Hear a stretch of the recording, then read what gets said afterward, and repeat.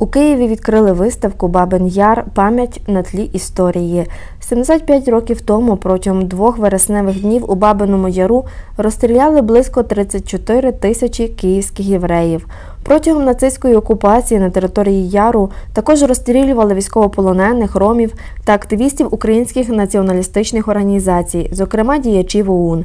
Виставку пам'яті вбитих відкрили у музеї історії міста Києва. з приводу того, е, якою має бути пам'ять про це місце. Не просто про місце, та, якою має бути пам'ять про війну, е, про окупацію і про те, що було до війни і після війни Німці не розстрілювали радянських громадян. Німці розстрілювали євреїв, ромів, душевнохворих, націоналістів, комуністів, кого завгодно, але вони не цілили радянських громадян.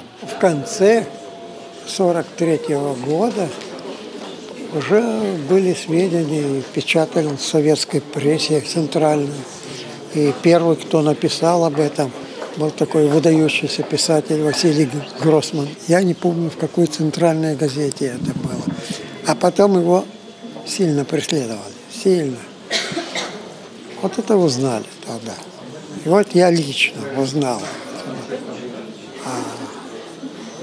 Конечно, это страшное дело было. Знакомых много, конечно, погибло. Там дальние родственники. Вот, я помню, тетя Берта погибла каждый год. И видел, когда эти вырывали эти венки. Собирались группа еврейских активистов, молодых ребят. И приходили туда к месту положить венки. Им ничего не давали, разгоняли. Конечно, все это было. То есть это была государство, политика государственного антисемитизма. свідком, який безпосередньо все е, бачив е, 29 вересня, це була Діна Пронічева. Цілий день вона спостерігала, як людей підводили до Бабиного Яру, розстрілювали, бачили, як убивають її батька, матір, сестру, дітей, сестри.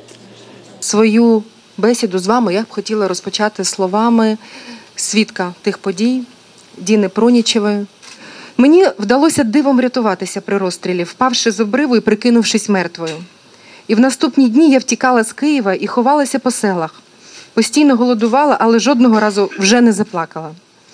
Ніколи, навіть коли дізналася, що там втратила всіх моїх рідних.